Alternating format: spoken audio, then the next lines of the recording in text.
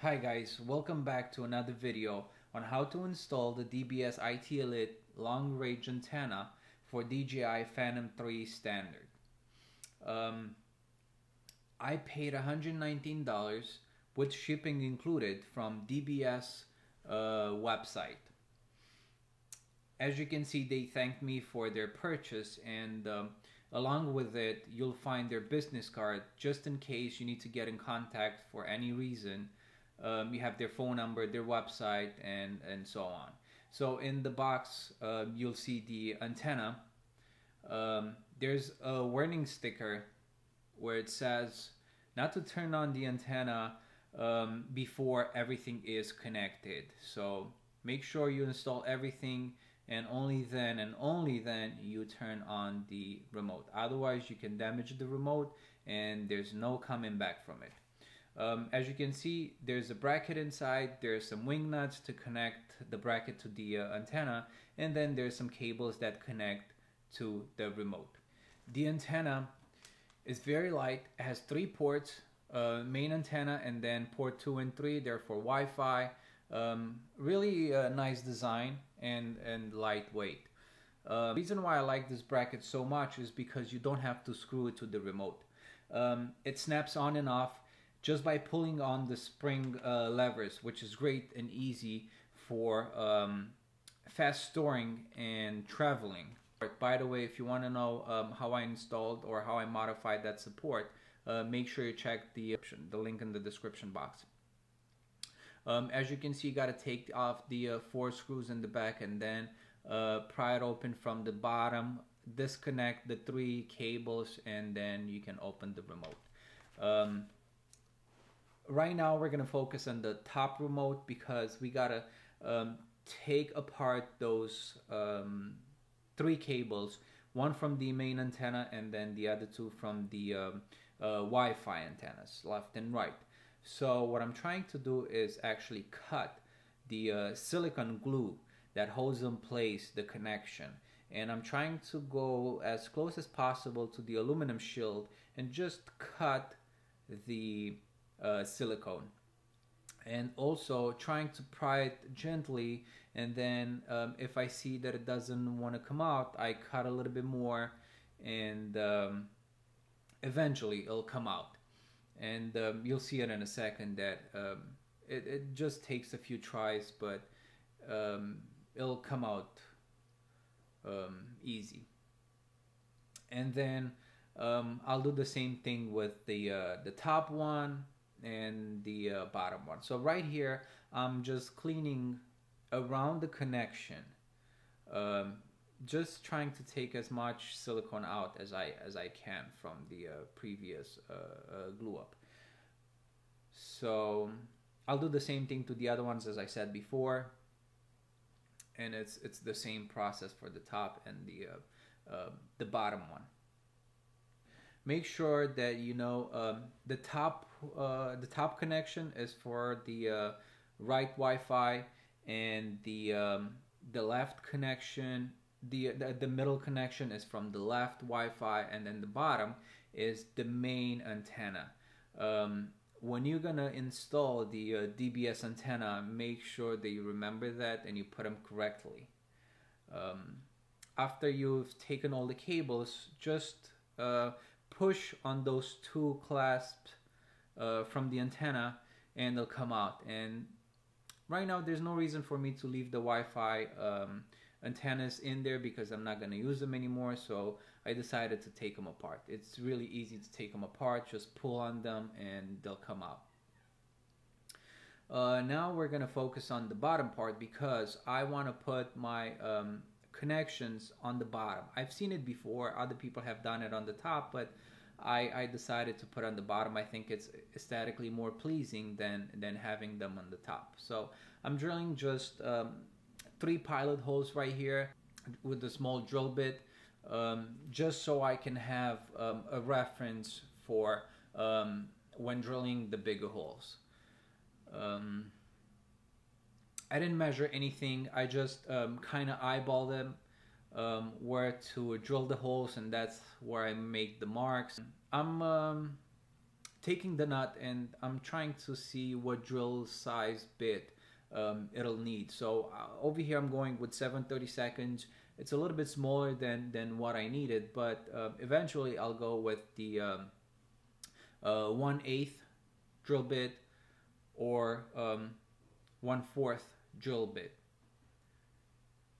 So I'm just drilling the holes, making them a little bit bigger, and then eventually um, I'll realize that I have to go with the, the bigger one. So over here, I'm going with the, the bigger drill. And um, I'm making the, the drills larger. And uh, they're just perfect size for the um, antenna connection. You just put it through and then um, secure with the nut. And I'll do the same thing for um, for the other two it's real, really simple. Just um, just get it snug in there, and uh, uh, later I'm gonna use a plier to uh, secure it better. And as I said, do the same thing for the other two.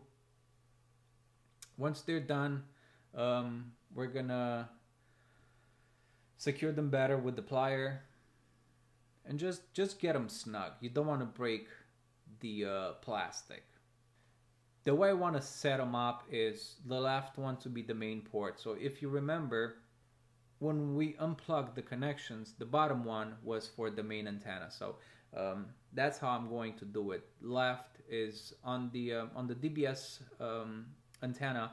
The left one, port number one, is the main antenna. That's why I want to have it to the left, and then the middle one, it'll be the left Wi-Fi antenna, and then the right one, it'll be the right Wi-Fi antenna and that's how I'm actually connecting them. It's really easy to connect them. Just make sure that the connector is snapped in place and that they are secure. After that I hot glue them in place uh, making sure that they won't come loose and I've done that to all three of them. Putting plenty of uh, hot glue uh, making sure that um, they'll never come off by themselves. And I've also had glued them in place to one of the plastic tabs at the middle of the remote.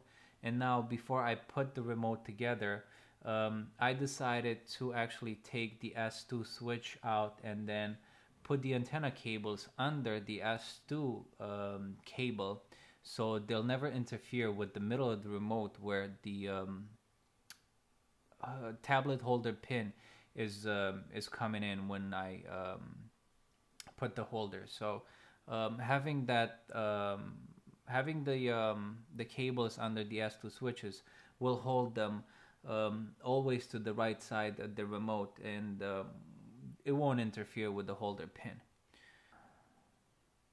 Now putting the remote together and making sure that I connect the uh, three cables, the gimbal cable right now, then the um, um, charging cable, and then the battery cable. Once all three cables are secure, um, I'm ready to put the uh, screws back together to the back of the remote. And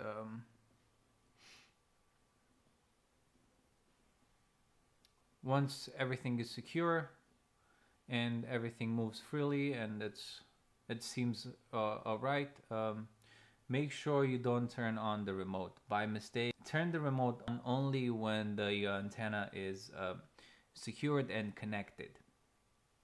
So after you have all cables connected, um, what you have to do is actually take the support out and connect it to the antenna first with those uh, two wing nuts provided as I'm doing right now and um, only after that connected to the remote and then connect all three cables.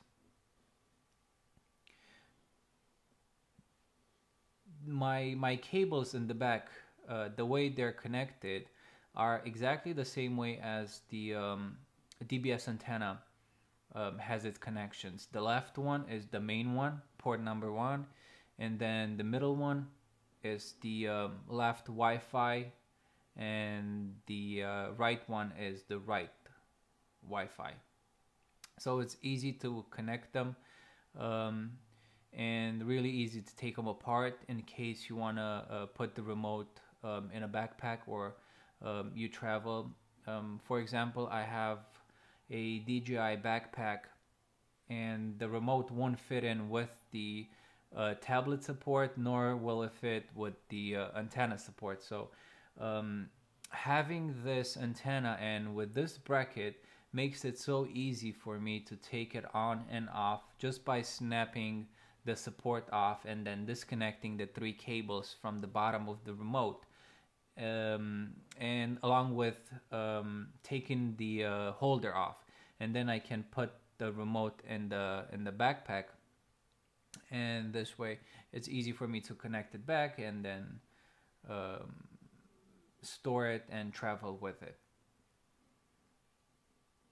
And everything is connected. Everything seems fine i'm really happy with those uh, uh, uh, snap-ons with, that snap-on support and as i said you just have to disconnect the three cables uh, take the support off and then the remote is, is ready to be packed in the DJI backpack or whatever else you're using as a traveling case. Now it's time to um, actually turn on the remote and, and see if it works. And that's what I'm doing right now. Um, and it looks like everything is working fine. And that's it for the install. Uh, thank you very much, guys, for watching. Um, hope you enjoyed it. Um, don't forget to comment, like, and maybe subscribe. Thank you very much.